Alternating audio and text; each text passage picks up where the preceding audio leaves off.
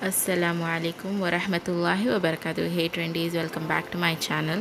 Today's video is a continuation of last இன்றைக்கி நாகூரோட ஃபேமஸான snacks தான் நம்ம பார்க்க போகிறோம் way we get each and every street இன்றைக்கி உள்ள ரெசிபி வந்து உருளைக்கிழங்கு காண்டா பராட்டா உருண்டை அப்புறம் பஜ்ஜி பஜ்ஜி வந்து ஆல்ரவுண்டர் எல்லா இடத்துலையும் கிடைக்கும் இது வேர்ல்டு வைட் எந்த கார்னரில் போனாலும் உங்களுக்கு கிடைக்கும் இது உருளைக்கிழங்காண்டா எப்படி செய்கிறதுனா நம்ம ஃபேமிலி மெம்பர்ஸை வந்து டிபெண்ட் பண்ணி எத்தனை பேர் இருக்காங்களோ அத்தனை உருளைக்கிழங்கு. இங்கே வந்து ஒரு எயிட்லேருந்து டென் உருளைக்கிழங்கு எடுத்தேன்.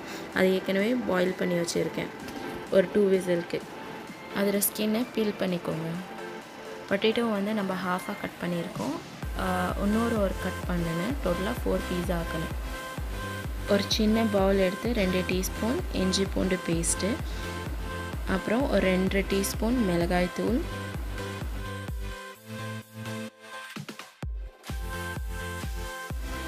ஒரு டீஸ்பூன் மஞ்சத்தூள்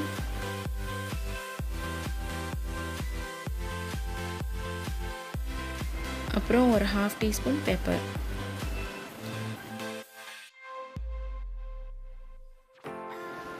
தேவையான அளவு உப்பு அப்புறம் தண்ணி ஊற்றி அதை வந்து மிக்ஸ் பண்ணிக்கணும். ஒரு கடாயை எடுத்து ஒரு த்ரீ டேபிள் ஸ்பூன் ஆயில் ஊற்றி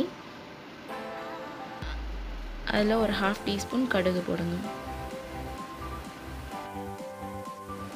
கடுகு நல்லா வெடித்ததுக்கப்புறம் ஒரு கை அளவுக்கு கருவேப்பிலை போடுங்க வேக வச்ச பொட்டேட்டோவை அதில் போட்டு லைட்டாக கிளறணும். ரொம்ப கிளறக்கூடாது.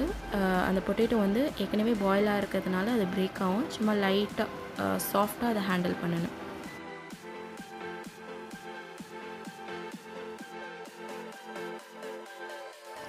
மிக்ஸ் பண்ண மசாலா வந்து அது மேலே ஊற்றிடணும் அந்த மசாலா வந்து நல்லா திக்காகிற வரைக்கும் நம்ம வந்து அதை லைட் லைட்டாக அதை கிண்டிக்கிட்டு இருக்கணும்.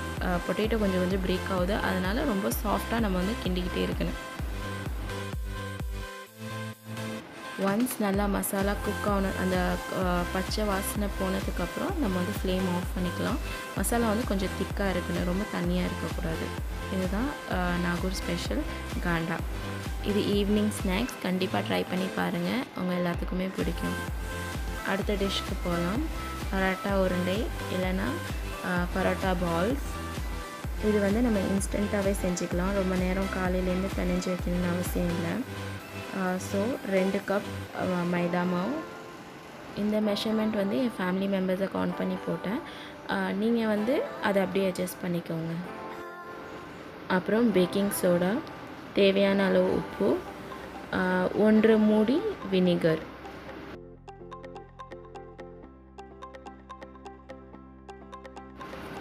இது எல்லாத்தையுமே தண்ணி ஊற்றி நல்லா மிக்ஸ் பண்ணிக்கோங்க. தண்ணி வந்து கொஞ்சம் கொஞ்சமாக ஊற்றுங்க ஒரே டைம் ஊற்றாதீங்க இது வந்து செமி லிக்விட் ஃபார்மில் இருக்குன்னு. ரொம்ப தண்ணியாகவும் இருக்கக்கூடாது ரொம்ப கெட்டியாகவும் இருக்கக்கூடாது. திக்காகவும் இருக்குன்னு கொஞ்சம் தண்ணியாகவும் இருக்குன்னு. இந்த டிஷ் வந்து என் கசின் சிஸ்டரோட டிஷ் தான். அவங்கள்ட்டேருந்து தான் நான் கற்றுக்கிட்டேன் நம்ம பேட்ரு வந்து இந்த ஃபார்மில் இருக்குது நம்ம ஸ்பூனால் ஊற்றுறதுக்கு கரெக்டாக இருக்கணும். இதை வந்து இமீடியட்டாகவே எண்ணெயில் ஊற்றி நம்ம பொறிக்கலாம். ஒரு ஃபைவ் டு டென் மினிட்ஸ் வச்சாலும் நல்ல ரிசல்ட் கிடைக்கும். ஸோ நான் ஃபைவ் டென் மினிட்ஸ் வச்சேன். அந்த பேட்டரை எடுத்து ஒரு ஸ்பூன் அளவுக்கு நம்ம இந்த மாதிரி ஊற்றிக்கணும்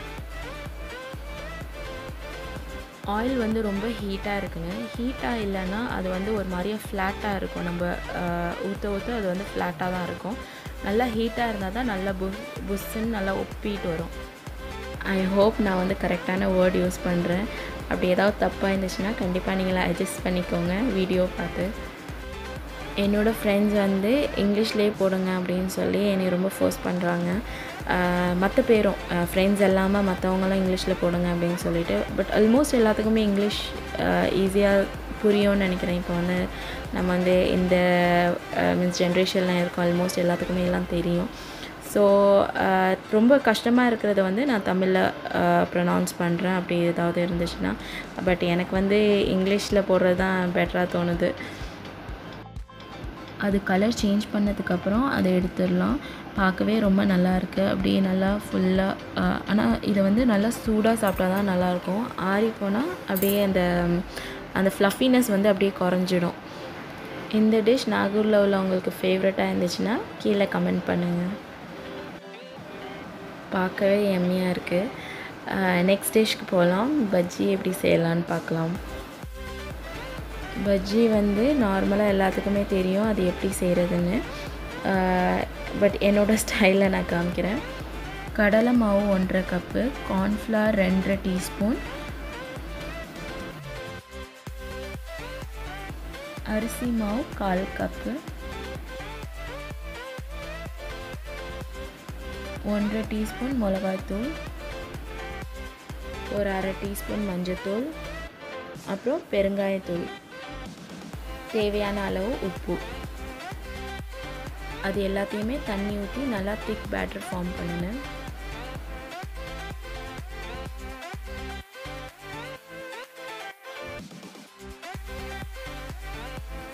இதோட கன்சிஸ்டன்சி வந்து நல்லா இந்த மாதிரி திக்காக இருக்கணும்.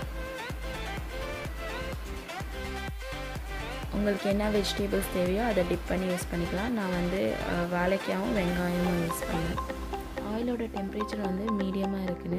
நம்ம பஜ்ஜியை வந்து ஒன்று ஒன்றா அதில் டிப் பண்ணி ட்ராப் பண்ணுங்கள் ஆயிலில் நல்லா வெந்ததுக்கப்புறம் அதை எடுக்கிறோம் ரொம்ப கிறிஸ்பியாக இருந்துச்சு. டேஸ்ட்டும் ரொம்ப நல்லா இருந்துச்சு. கண்டிப்பாக இதை ட்ரை பண்ணி பாருங்கள் உங்களுக்கும் இது பிடிக்கும். இந்த டிஷ் உங்களுக்கு எல்லாமே உங்களுக்கு பிடிச்சிருந்துச்சுன்னா கண்டிப்பாக லைக் பண்ணுங்கள் ஷேர் பண்ணுங்கள் கமெண்ட் பண்ணுங்கள் புதுசாக பார்க்குறவங்க கண்டிப்பாக சப்ஸ்கிரைப் பண்ணுங்கள் இன்ஷால்லாம் நிறையா வீடியோஸ் கொண்டு வரேன் until then take care stay safe and stay healthy bye bye அஸ்லாம் வலைக்கம் வரமத்துல்லாஹி வபரகாத்து